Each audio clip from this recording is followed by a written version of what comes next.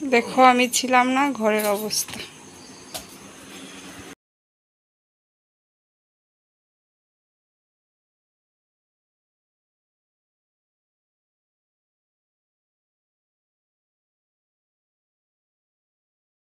তো আমি বিছানাটা গুছিয়ে নিয়েছি সোফাটা গুছিয়ে নিয়েছি। তো গুড নাইট, সকালে দেখা হচ্ছে তোমাদের সাথে। তো গুড মর্নিং এভরিওয়ান তো দেখো, আমি কাজে লেগে পড়েছি।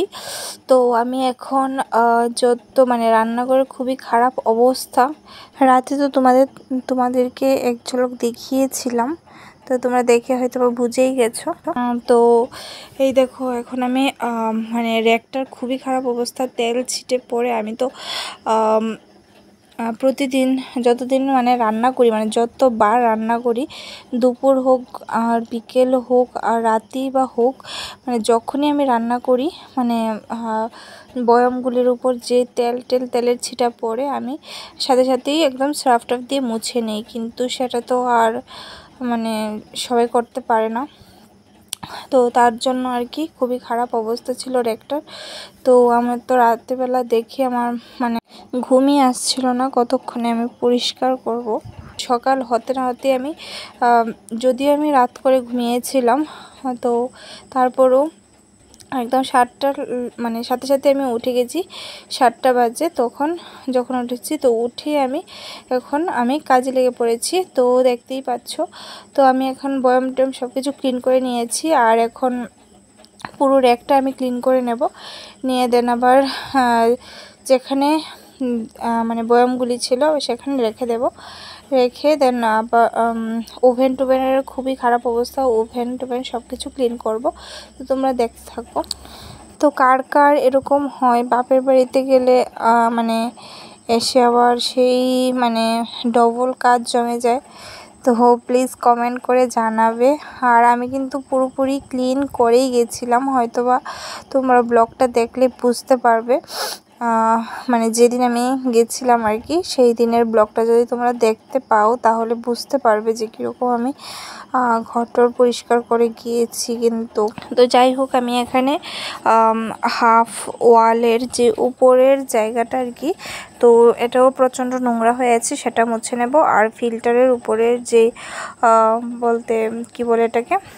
ফিল্টারের উপরে যে ঢাকনাটা আছে সেটাও আমি মুছে নেব। দেন বাসনের যে র্যাকটা এটাও প্রচণ্ড পরিমাণে ধুলাবালি পড়েছে, তো সেটাও মুছবো।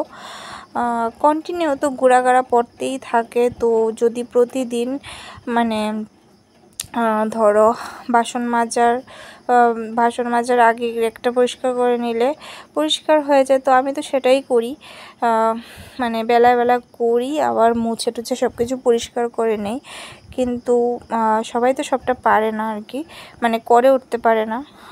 মানে ইচ্ছা থাকে অনেকের, উপায় হয় না সেটাই আর কি। তো আমি। তো এখন করে নিচ্ছি সব কিছু তোমরা দেখতে থাকো, আর বেশি বক বক করব না। তো আশা করি তোমাদের ভালো লাগবে।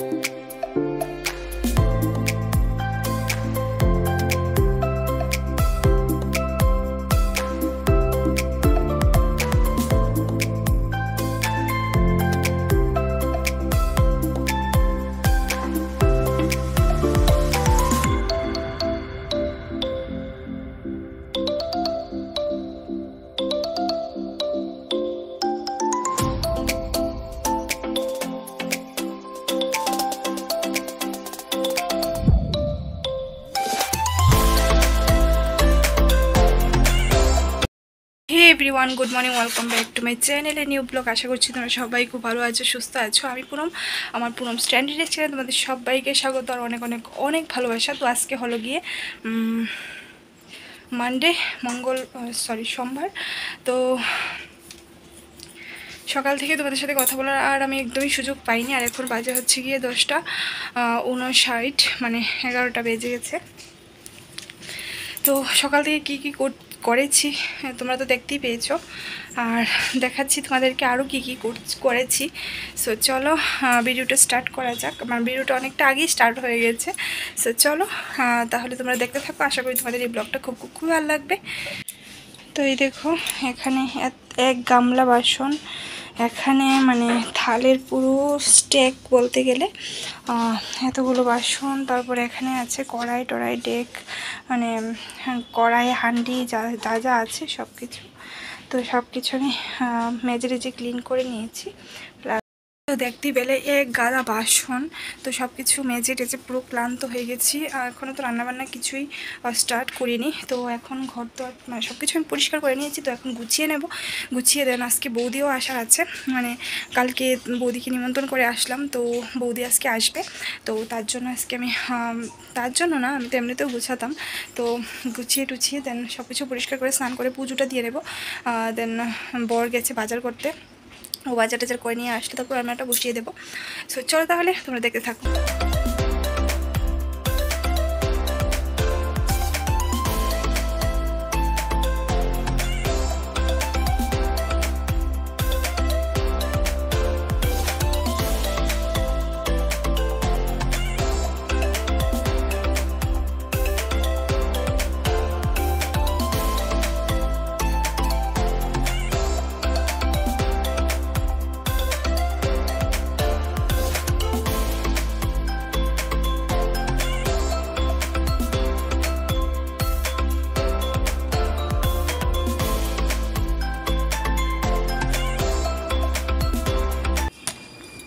দেখো, আমি ঘর দর পরিষ্কার করে নিয়েছি।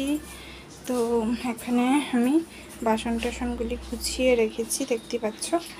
আর এই জায়গাটা, ওয়ালটা মানে উপরের যে জায়গাটা, পুরোটা পরিষ্কার করে নিয়েছি আমি। তার লাইটটা জ্বালিয়ে নিই। আর এখানে আমি বসিয়ে দিয়েছি ভাত, ভাতের জল বসিয়ে দিয়েছি। আর দেখতেই পেয়েছ তুমি, তোমরা মানে বয়ম টয়ম যা ছিল, আর একটা পুরোপুরি পরিষ্কার করেছি আমি। আর দেখো টেবিল, বলল সব কিছুই ক্লিন টিন করে দেন এখন রান্না বসাবো। আর বর এখানে নিয়ে এসছে। বর এখানে নিয়ে এসছে চিকেন তো চলো। হে গাইস তো এখন বাজে হচ্ছে গিয়ে এগারোটা তেত্রিশ, তো বর বাজার নিয়ে চলে এসছে। তো ভাবলাম যে রান্নাটা করেই নেই তাহলে। রান্নাটা করে দেন স্নান দান করে পুজো দেব। আর ঘরের প্রচণ্ড খারাপ অবস্থা ঘরটরও গুছাইনি। তো রান্না করতে করতে আমি ঘরটর গুছিয়ে নেব দেন স্নান করে পুজোটা দেবো আর কি। সো চলো তাহলে আর বেশি বক বক না করে কাজে তাড়াতাড়ি লেগে পড়ি। দেখো বিছানা বিছানা মানে গুছাইনি আর কি। সব কিছু পরে আছে। কালকে এসছি, কাপড় চোপড় এখানে সব কিছু পরে আছে। তো চলো তাহলে কাজ বাজ করে নিই, তোমরা দেখতে থাকো। তো এই দেখো নিয়ে এসেছি আম আম বাগান থেকে।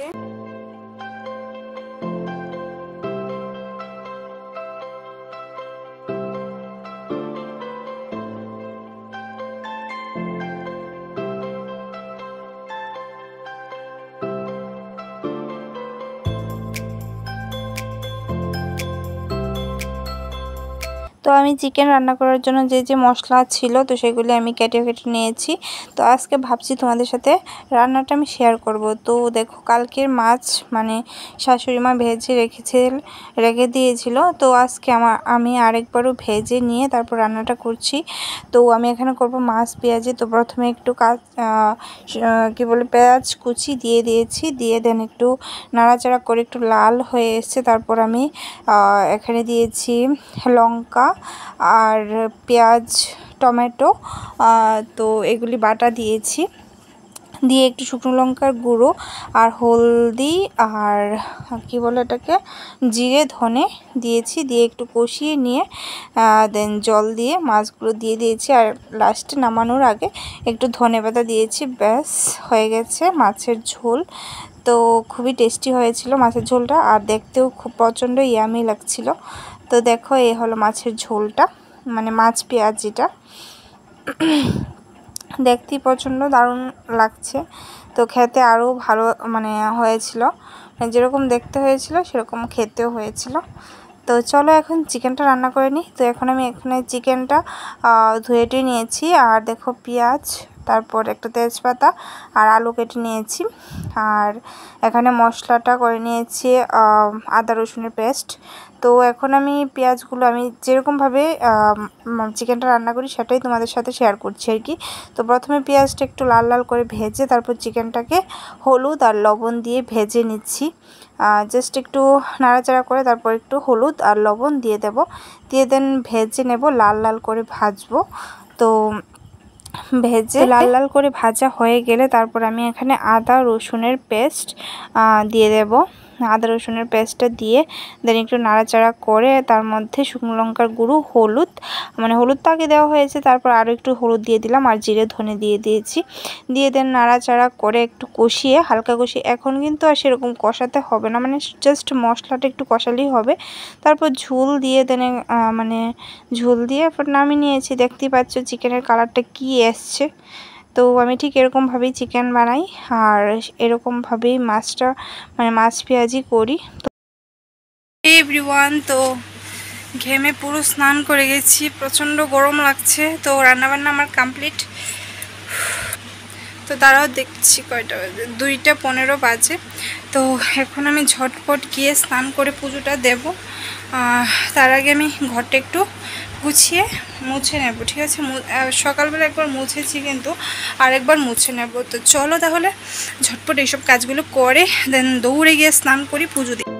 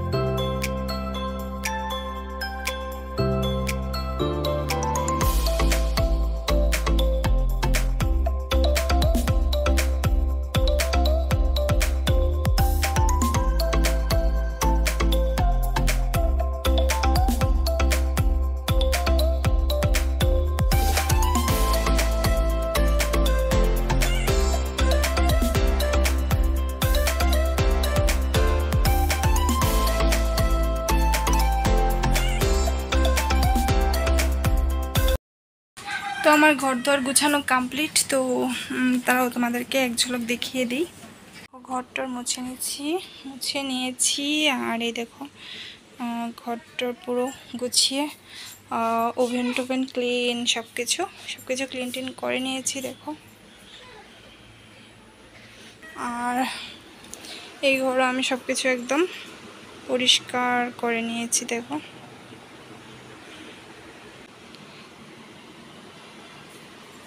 কাপড় টাপড় গুছিয়ে নিয়েছি। তো দেখতেই পেলে, তো এখন আমি যাব স্নান করতে। তো স্নান দান করে এসে পুজোটা দেব। তো চলো।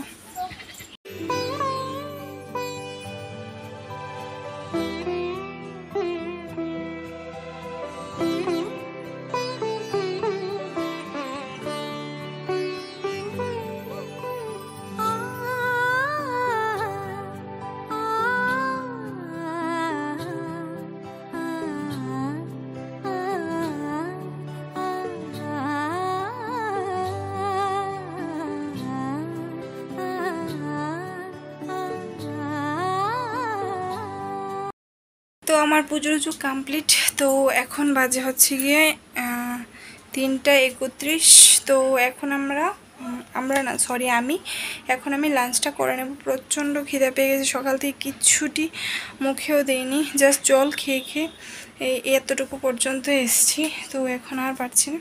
তো যেহেতু সব কাজই কমপ্লিট তো এখন লাঞ্চটা করে নেব, পরের দিন একটু রেস্ট করব। সো চলো। পরে কথা হচ্ছে। তো এই দেখো মা এসছে মা ভাত বসিয়ে দিয়েছে বৌদি আবার দিল আম কেটে তারপর পটল ভাজি করব পটলটাও কেটে দিয়েছে। তো এই দেখো বৌদি হাই বলো। ও বৌদি আম কেটে নিয়েছে তো এখন সবাইকে দিয়ে দেব। এভরিওয়ান গুড ইভিনিং তো এখন বাজে হচ্ছে গিয়ে ছয়টা আইত্রিশ। তো আমি এখন করব চাউমিন চিকেন চাউমিন করব। তো চলো তোমাদেরকে উপকরণগুলি দেখিয়ে দেই। তারপর চাউমিনটা হওয়ার পর তো অবশ্যই দেখাবো। তো চলো, আমি রেডি ফেডি করে নিয়েছি। তো এখন জাস্ট বানিয়ে নেব আর কি। সো চলো, তোমরা দেখে নাও। দেখো, এখানে চাউমিনটা বয়েল করে নিয়েছি। আর এখানে হলো গিয়ে চিকেনটাও বয়েল করে নিয়েছি। আর এখানে ডিম, পেঁয়াজ, লঙ্কা, একটা মশলা দিয়েছে। এই দেখো, চিকেন চাউমিন রেডি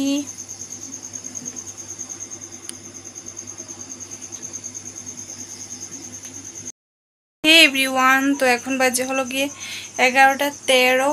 তো আমাদের ডিনার টিনার কমপ্লিট তো বৌদি এই জাস্ট গেল আমাদের বাড়ি থেকে। তো বৌদিকে রেখে দিয়েছিলাম বিকেলবেলা।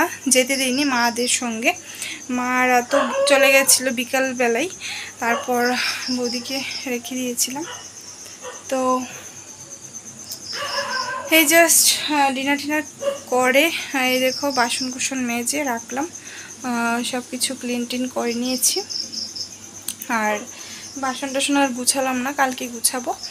তো এত গরম এত গরম, কি বলব? তো রাতে ডিনারে রান্না হয়েছিল ডিমের ঝোল, পটল ভাজি আর দুপুরে চিকেন একটু ছিল, তো এই দিয়ে ডিনারটা হয়েছে। আর দুপুরে তো দেখালামই তোমাদেরকে কি রান্না হয়েছিল। ঝিঙে দিয়ে একটা শুটকি মাছের চাটনি করেছি আর করেছিলাম চিকেন আর গুলায়া মাছের পেঁয়াজি করেছি। তো এই আর কি। তো যাই হোক সারাদিন প্রচণ্ড দখল গেছে, তো ভাবছি যে আর বেশি বকবক করব না। শরীরটা প্রচণ্ড ক্লান্ত লাগছে, একটুকু বিছানায় শুইনি। মানে বিকেলবেলায় একটু পর মানে প্রায় পনেরো থেকে বিশ মিনিট একটু শুয়েছিলাম, কিন্তু তখন আমি আরেকটা ভিডিও এডিট করেছিলাম, কারণ দু তিন দিন ধরে তোমাদেরকে ভিডিও দেওয়া হচ্ছে না, কারণ প্রচণ্ড প্রচণ্ড প্রচণ্ড বিজি ছিলাম।